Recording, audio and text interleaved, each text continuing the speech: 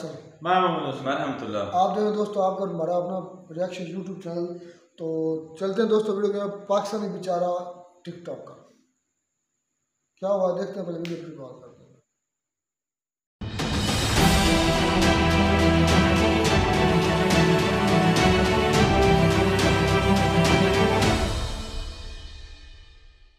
इस वीडियो में बताई गई सारी जानकारी पब्लिक प्लेटफॉर्म पर उपलब्ध है। इसमें ऐसी कोई जानकारी नहीं दी गई है, जिससे हमारे सुरक्षा बलों की गोपनीयता भंग होती है। डिफेंस डिटेक्टिव सेना का सम्मान करता है और उन्हीं जानकारियों के आधार पर काम करता है, जो सार्वजनिक रूप से मौजूद है। बांग्लादेश में खतरे की घंटी बज रही है। बांग्लादेश को अब डर लग रहा है। बांग्लादेश को अब अपनी सिक्योरिटी पर खतरा मंडराता हुआ नज़र आ रहा है। अब वो इस क्राइसिस का फ़ौरन निपटारा चाहता है, लेकिन भारत तो पिछले 10-12 सालों से लगातार यह बात कह रहा है। लेकिन तब उसकी चिंता को उसका पूर्वाग्रह बताया गया था। तब उसे अमानवीय साबित करने की कोशिश की गई थी। तो अब क्या हुआ? नमस्कार दोस्तों, डिफेंस डिटेक्टिव के एक और नए एपिसोड में आप सभी का स्वागत है। मैं हूँ आलोक। दोस्तों, मैं जिस खतरे की घंटी की बात कर रहा हूँ, वो है बांग्लादेश के रोहिंग्या मुसलमानों के कैंप्स भारत ने आज नहीं साल 2016-17 में ही अपने यहाँ के रोहिंग्या कैंप्स को लेकर सख्त एक्शन लेने शुरू कर दिए थे।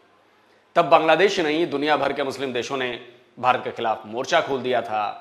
यहाँ तक कि वेस्टर्न वर्ल्ड भी भारत पर सवाल उठा रहा था कि भाई भारत ऐसे कैसे कर रहा है? यह तो अमानवीय है। आज के इस वीडियो में मैं आपको बताने वाला हूँ कि आज म्यांमार से भागे रोहिंग्या मुसलमानों को अपने देश में शरण देने वाला बांग्लादेश क्यों पछता रहा है। क्यों अब वो जल्द से जल्द अपनी ज़मीन से रोहिंग्या मुसलमानों को वापस भगाना चाहता है, भेजना चाहता है? और बांग्लादेश ही क्यों? मलेशिया और इंडोनेशिया जैसे मुस्लिम कंट्रीज़ भी रोहिंग्या मुसलमानों से पीछा क्यों छुड़ाना चाहती हैं? बांग्लादेशी अखबार द डेली स्टार की हेडलाइन को देखिए। केवल छह दिन पहले की खबर है 31 मई की। इस खबर की हेडलाइन है, रोहिंग्या कैंप्स के आतंकवादियों के गढ़ में बदलने का खतरा। और यह बात किसने कही है? यह भी जान लीजिए यह बयान देने वाले हैं। बांग्लादेश के होम मिनिस्टर असदुजमान खान कमाल। इतना ही नहीं, बांग्लादेश अब ओआईसी यानी ऑर्गेनाइजेशन ऑफ़ इस्लामिक कॉपरेशन से जुड़े देशों से भी मिन्नत कर रहा है कि वो जल्द से जल्द रोहिंग्याओं को उनके देश भेजने में मदद करें। ढाका ट्रिब्यून की खबर 30 मई की है। बांग्लादेश के foreign minister Hasan Mahmud New York में थे। यहाँ उन्होंने ओआईसी की बैठक में ओआईसी से म्यांमार से भागकर बांग्लादेश में बसे 1.3 मिलियन रोहिंग्या लोगों की स्थायी वापसी सुनिश्चित करने के लिए मदद मांगी है। यह वही बांग्लादेश है जो 2017 में बाहें फैला फैलाकर म्यांमार से भागकर आ रहे रोहिंग्याओं के स्वागत के लिए खड़ा था। तो 2017 से अब तक बांग्लादेश में ऐसा क्या बदल गया कि रोहिंग्या मुसलमानों को लेकर उसके सुर बदलने लगे, जबकि वो खुद मुस्लिम कंट्री है। ना केवल रोहिंग्या कैंप्स में उसे आतंक के अड्डे नज़र आने लगे, बल्कि अब वो जल्द से जल्द इन रोहिंग्याओं से छुट्टी पाने के लिए उतावला हो रहा है। इसकी वजह वही है जो भारत शुरू से कहता आ रहा है।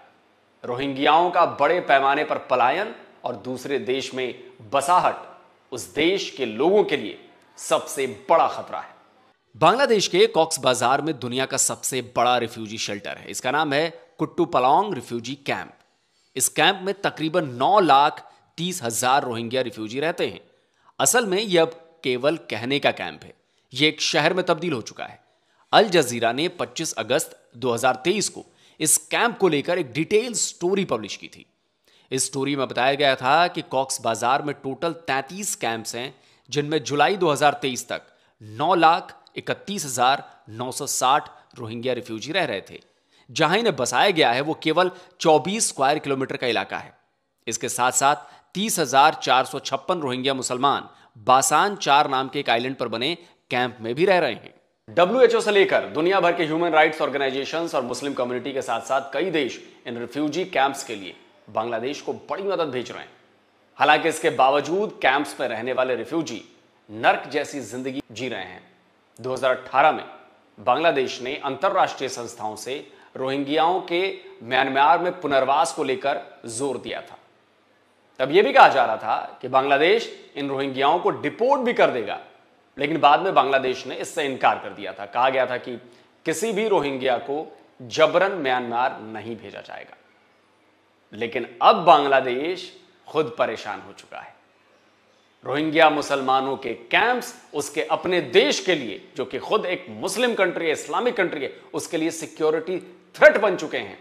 अब सोचिए कि जो नॉन मुस्लिम देश हैं, जैसा कि भारत है, वहाँ क्या? इसी वजह से 31 मई को बांग्लादेश के गृह मंत्री कॉक्स बाज़ार के दो दिनों के दौरे पर थे। उनके साथ साथ बांग्लादेश के police IG, additional IG, Bangladesh के आर्म पुलिस बटालियन के चीफ समेत कई बड़े अधिकारी भी मौजूद थे। बांग्लादेश के होम मिनिस्टर ने न केवल कैंप्स का दौरा किया, बल्कि दोनों दिन कैंप से जुड़े अलग अलग इश्यूज़ को लेकर मीटिंग्स भी की। और अपने इस दौरे में बांग्लादेश के होम मिनिस्टर असदुज्जमान खान कमाल ने जो बयान दिया, उसने पूरे बांग्लादेश के लिए खतरे की घंटी बजा दी है। अगर रोहिंग्याओं को जल्द ही वापस नहीं भेजा गया तो यहाँ बढ़ता असंतोष। रोहिंग्या शिविरों को अंतर्राष्ट्रीय आतंकवादियों के संभावित केंद्र में बदल सकता है। हमें इससे जुड़े कुछ सबूत मिल रहे हैं। और तभी बांग्लादेश इन रोहिंग्याओं को जल्द से जल्द अपने देश से बाहर निकालने के लिए बेचैन हो रहा है। और इसके लिए वो बहाना भी सुनने को तैयार नहीं है कि म्यांमार में अभी सिविल वॉर की वजह से हालात खराब हो चुके हैं। ओआईसी की बैठक में इस बारे में बांग्लादेश ने दो टूक जवाब भी दे दिया। तो क्या रोहिंग्या कैंप्स के आतंकियों के कैंप बनने की खबर कोई नई खबर है? एक्सक्लूसिव है? जी नहीं। रोहिंग्या मुसलमानों के आतंकी कनेक्शन की बात तो 2016-17 में ही सामने आ चुकी थी। लेकिन तब बांग्लादेश ने इसे लेकर अपनी आँखें बंद कर ली थी। उसे लगता था कि चलो, इस बात को छेड़ना नहीं। अल जजीरा की रिपोर्ट 2017 की है। भारत सरकार ने देश में रोहिंग्या कैंप्स और रोहिंग्या आबादी की जाँच पड़ताल तेज कर दी थी। तब सरकार ने दावा किया था कि रोहिंग्या मुसलमानों के आतंकियों के साथ कनेक्शन है। भारत सरकार ने तब सुप्रीम कोर्ट में इससे जुड़े सबूत भी पेश किए थे। यह निक्की एशिया की खबर है। तीन अक्टूबर 2017 को पब्लिश यह खबर बता रही है कि रोहिंग्या क्राइसिस ने आतंकवाद और सोशल अनरेस्ट के खतरे को बढ़ा दिया है। डीडब्ल्यू की इस खबर में बताया गया है कि रोहिंग्या रिफ्यूजियों को पाकिस्तानी इंटेलिजेंस रेडिकलाइज कर रही है। इस रिपोर्ट में बताया गया कि पाकिस्तान की खुफिया एजेंसी आईएसआई, कॉक्स बाज़ार के रोहिंग्या कैंप्स के 40 रोहिंग्याओं को आतंकी ट्रेनिंग दे रही है। भारत की एजेंसीज ने इसे लेकर सेना और बीएसएफ को अलर्ट भी भेजा था।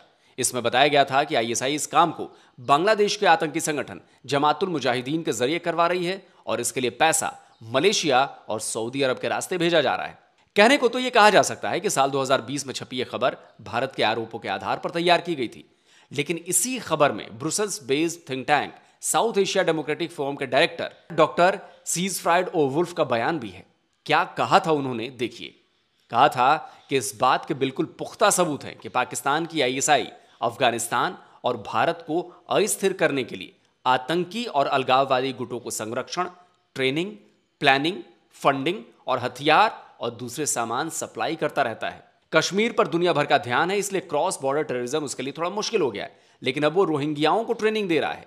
लेकिन आप जानकर हैरान रह जाएँगे कि तब भी बांग्लादेश ने इस खतरे से इनकार कर दिया था। कहा था कि भारत के खिलाफ वो रोहिंग्या कैंप में कोई एक्टिविटीज़ नहीं होने देंगे। लेकिन क्या सच में ये हो पाया? नहीं हुआ। और तभी आज बांग्लादेश को इन्हीं कैंप से डर लगने लगा है। अपने ही रोहिंग्या मुसलमानों से मतलब अपने ही का कहने का मतलब है कि वो भी मुसलमान है, वो भी मुसलमान है। उनसे डर लगने लगा है, खतरा लगने लगा है। असल में बांग्लादेश के रोहिंग्या कैंप्स में लॉ एंड ऑर्डर की सिचुएशन हमेशा से खराब रही। 26 अक्टूबर 2021 को डीडब्ल्यू में छपी इस खबर को देखिए यह खबर रोहिंग्या कैंप्स में बढ़ते गैंग वॉर के खतरे की चेतावनी दे रही थी। इसी खबर में बताया गया है कि 2018 में बांग्लादेश के पीएम शेख हसीना ने पहली बार कहा था कि रोहिंग्या बांग्लादेश समेत पूरे रीजन के लिए बड़ा खतरा बनते जा रहे हैं। अब इस खबर को देखिए, पिछले साल 16 फरवरी की खबर बता रही है कि बांग्लादेश गवर्नमेंट ने रोहिंग्या कैंप्स में सिक्योरिटी बढ़ा दी है।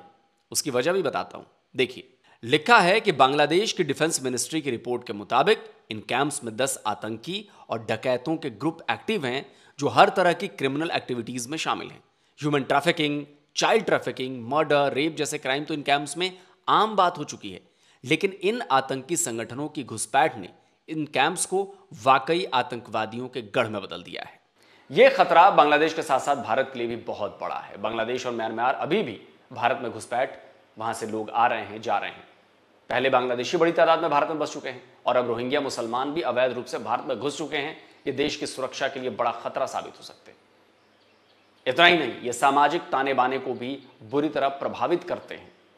अब समझने वाली बात है, भारत में भी बहुत से लोग और संगठन रोहिंग्या मुसलमानों के खिलाफ सरकार के एक्शन का विरोध करते हैं। लेकिन वो ये बात भूल जाते हैं कि मानवाधिकारों की वजह से देश की सुरक्षा के साथ कोई समझौता नहीं किया जा सकता।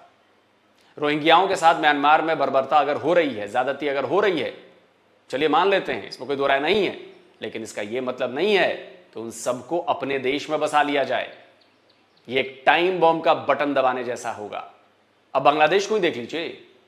मुस्लिम कंट्री है ना उसने मुसलमानों के नाम पर, रोहिंग्या मुसलमानों को इतने बड़े पैमाने पर सिर्फ़ इसलिए ही जगह दी क्योंकि वो मुसलमान थे। सवाल उठता है कि क्या म्यांमार से अगर बौद्ध या क्रिश्चियंस की इतनी बड़ी आबादी पलायन करती तो बांग्लादेश उनके लिए दरवाजे खोलता? नहीं खोलता, किसी भी कीमत पर नहीं खोलता। अब यह देखिए कि बांग्लादेश में मुस्लिम कंट्री है, बावजूद इसके, रोहिंग्या मुसलमान उसके लिए मुसीबत बन गए इंडोनेशिया और मलेशिया भी मुस्लिम देश हैं, लेकिन वहाँ भी रोहिंग्या मुसलमानों के खिलाफ मुसलमान ही वहाँ के प्रदर्शन कर रहे हैं। वजह क्या है? वजह यह है कि किसी देश से भागे लोगों को इस तरह अपने देश में बसाना कहीं से भी सही नहीं है। बांग्लादेश इसे भुगत रहा है, भुगतना शुरू हो चुका है और लगता नहीं कि आने वाले कुछ और सालों तक उसे इस परेशानी से मुक्ति मिलने वाली है। और तब तक तो हालात और भी ज़्यादा विस्फोटक हो जाएँगे, और भी ज़्यादा खतरनाक हो जाएँगे। इसीलिए भारत को अपनी सुरक्षा बढ़ानी होगी और अवैध घुसपैठियों के खिलाफ एक्शन भी तेज करना होगा। इसीलिए ज़रूरी है एनआरसी ज़रूरी है। तो दोस्तों, आपको ये वीडियो कैसा लगा हमें कमेंट करके ज़रूर बताइए। और जिन दोस्तों ने अभी तक डिफेंस डिटेक्टिव को सब्सक्राइब नहीं किया है तो भाई, सब्सक्राइब कर लीजिए। इसके कोई पैसे नहीं लगते, ये फ्री है। आपसे अनुरोध है, चैनल को सब्सक्राइब करिए, आगे बढ़ाइए। आप सब्सक्राइब करेंगे, आगे बढ़ाएँगे तो हमारा भी हौसला बनेगा और हम नए नए वीडियोस ऐसे ही आपके लिए लाते रहेंगे फैक्ट्स एंड फिगर्स के साथ। तो जल्दी मिलता हूँ एक और नए वीडियो के साथ। नमस्कार, जय हिंद।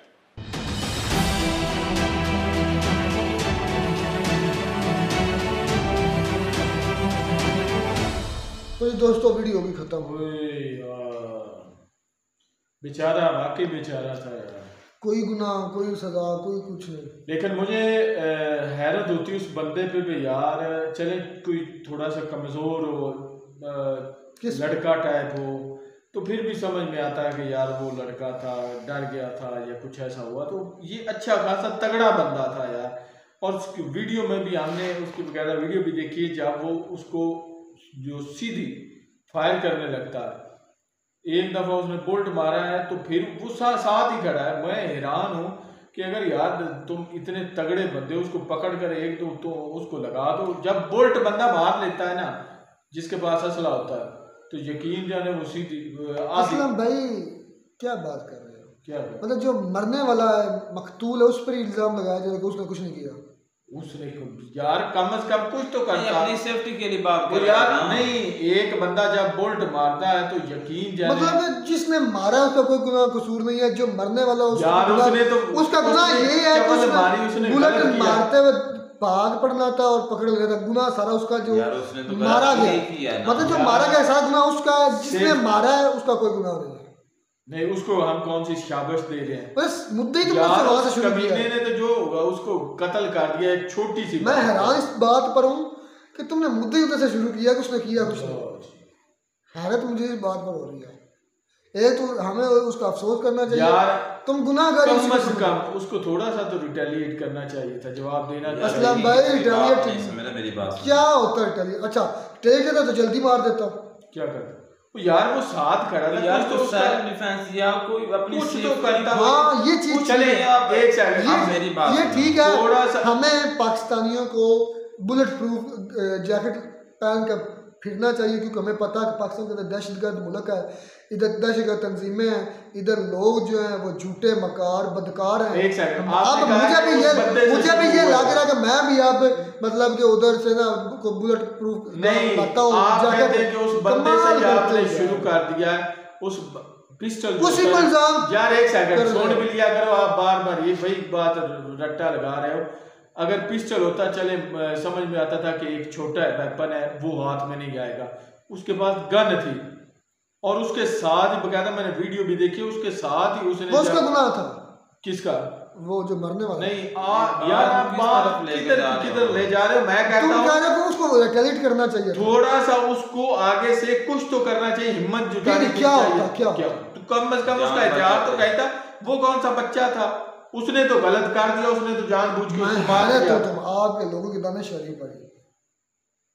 मैं आपकी आज सोच पे रहा इस्लाम मेरी बात सुने आप आज यहाँ पर मेरी बात सुन एक मिनट यहाँ पर हमारे जो फैसलाबाद है यहाँ पर कुछ बारिशें भी हो रही हैं लेकिन इनको कोई ज़्यादा गर्मी चढ़ गई यकीन जाने इस बंदे की अकल पे मुझे हैरानी आती है मौसम काफ़ी चेंज हुआ है, एक बार जो है जहाँ पे मैं जहाँ से मैंने शुरू किए वो कहता है कि आप उस पे इल्ज़ाम सारा डाल रहे हैं। रहमतुल्लाह मेरा ख्याल में ज़रूरत से ज़्यादा हो रहा है।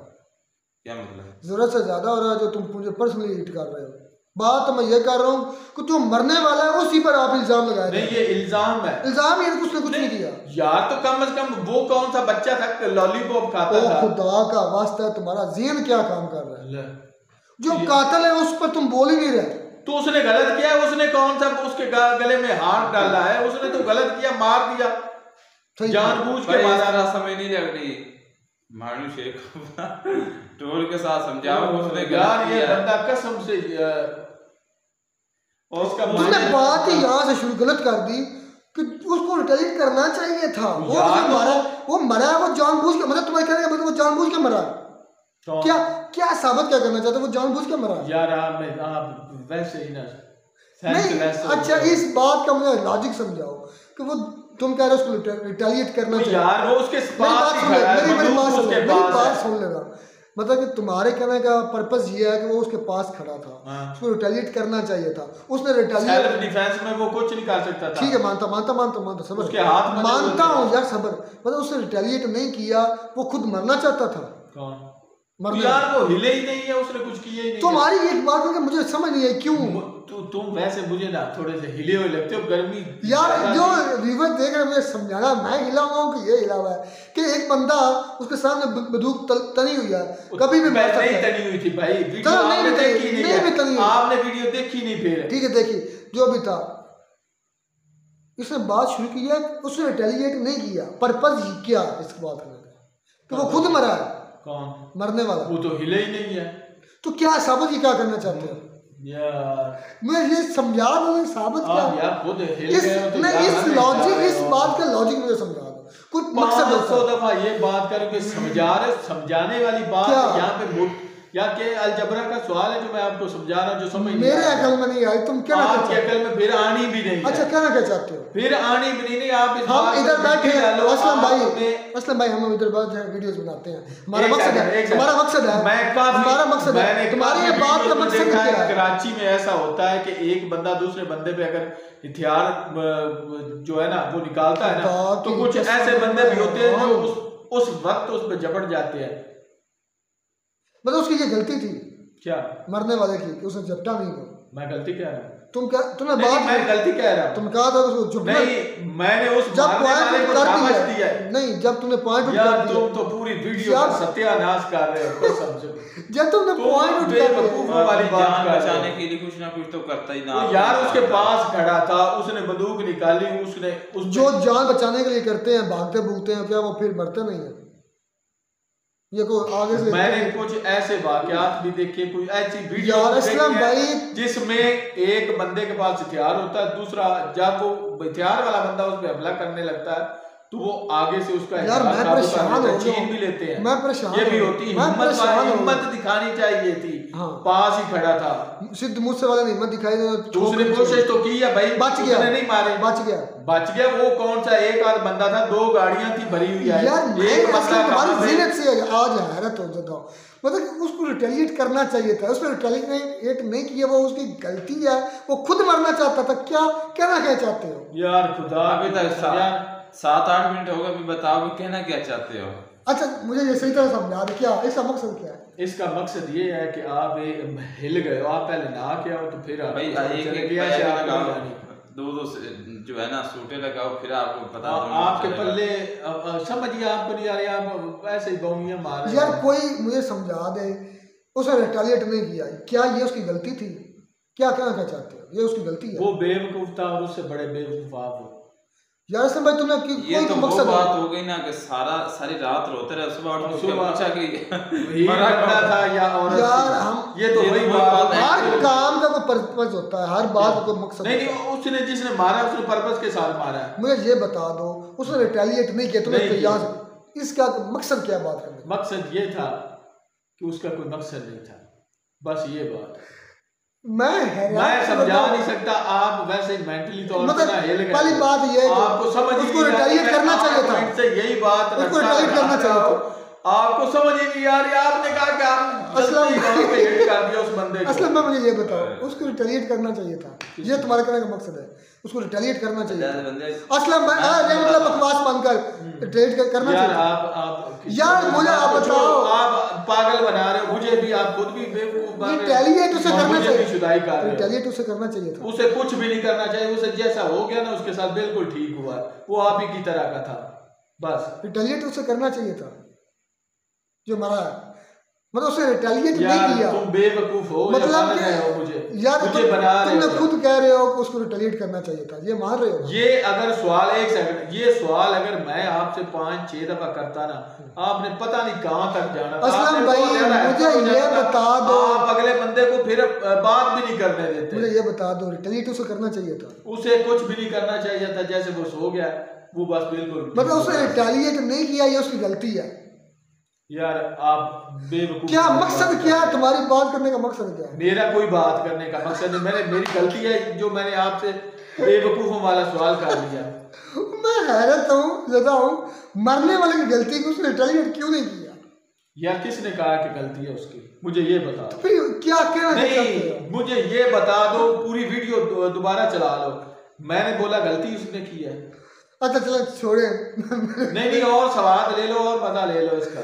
मैं अच्छा चले इस बात पर मिट्टी डालो लेकिन ये ज़रूर है कि पाकिस्तान के अंदर कोई भी जान महफूज नहीं है। और कोई भी पाकिस्तान के अंदर एक इंसान इस तरह मारा जाता है जिस तरह गली का कुत्ता मर गया स्पेशली कराची के अंदर। और फिर हम कहते हैं कि हमारा पाकिस्तान जिंदाबाद। और फिर ये सिर्फ़ ये नहीं कि इनके साथ हुआ। हमारे शहीद अशर शरीफ के साथ भी यही हुआ जो सच बोलता है जो सच सामने लाता है। हाँ कि वो बात इंडिया पाकिस्तान के मैच पर करने बेचारा गया था या उस पर कोई व्लॉग कर रहा था। उसने रोका था तो उसको भी रोकना चाहिए। जो उसकी गलती मैं मानता हूँ मरने वाले की। अगर उसने एक मरतबा तो रोका था तो उसको रोक लेना चाहिए था कि भाई नहीं ठीक है तुम नहीं अच्छा समझ रहे तो मैं किसी और की वीडियो बना लेता हूँ ठीक है। हाँ रिटेलिएट करना ना नहीं मुझे ये बताओ उसने रोका था? वीडियो आलोक देखी है तो। आलोक साहब ने क्या कहा? आलोक सर आपने वीडियो नहीं देखी उसने रोका है। आलोक साहब ने क्या बोला? कुछ नहीं उसने जो भी कहा उसने कोई वीडियो देखी उसने पहले रोका। मुझे तो लगता है मेरी बात आप दोनों ने अब कर ली है मुझे तो लगता है उसका कोई पर्सनली मसला भाई कोई पर्सनल नहीं था। उसको वैसे ही ना जब वो वीडियो बना रहा था उस दौरान ही उसे गुस्सा आया है। ना उसने जाके रोका है उसने सीधा सा बोल्ट मारा उसके बाद उसने फायर ठोक दिया है। ये हुआ है। ना उसने कोई बात की है ना यूट्यूबर की अगर बात की जाए तो देखें कि हमारे जो लाहौर है ये दूसरी सिटीज़ हैं वहाँ पर कुछ ऐसे भी हैं जो पाकिस्तान के खिलाफ ही बोलते हैं जहाँ पता हालाँकि होता नहीं है लेकिन अपनी तरफ़ से बात बनाकर जो है ना उसको मन करे के करते हैं जिस तरह नाइला है शुए- शुएब सॉरी मुजम्मल है। शुएब भाई ऐसा नहीं करते बाकी जितने भी यूट्यूबर। लेकिन उनको कौन सा मारा जा रहा है? देखें कितने मारे गए मतलब क्या है? मकसद ये उसको मार मारा चाहिए ये क्या मकसद? उनको भी मारा जाना चाहिए। है ना मैंने मैंने उनको भी मारा जाना चाहिए। क्या क्या मकसद क्या अब वो अब तुम्हारा ये क्या मकसद कंटेंट जो होता है वो पायदार होता है वो सच होता है। क्या मतलब तुमने कहा उनको नहीं मारा जाना। तुम्हारा क्या मकसद उनको भी मारना चाहिए। ख्याल में रुखसार भाई आपको ना बर्फ़ के साथ नहाना चाहिए। क्योंकि कल जो बारिश हुई है उससे आपको कुछ नहीं बना आपको सिर्फ़ बर्फ़ के साथ नहाना यार चाहिए। वहाँ वीडियो पानी है ना ठंडा उससे भी नहीं नहाना चाहिए। आपका गुजारा नहीं होगा आप जहनी तौर पे थोड़ा सा ना मैं हिल गए हो हिल गए हो, बहुत ज़्यादा हिल गया। सा भी। मैं हिल गया मानता हूँ मैं मानता हूँ। ये मेरे व्यूवर्स हमें बताएँगे हाँ। कि असलम भाई ने बात इधर से शुरू की। अब असलम बोले मैं कंक्लूड करने के बाद छोड़े। फैसला हम अपने व्यूवर्स पर छोड़ते हैं। बिल्कुल। कि असलम भाई ने बात असलम भाई ने ये नहीं कहा कि उसने गलती की है।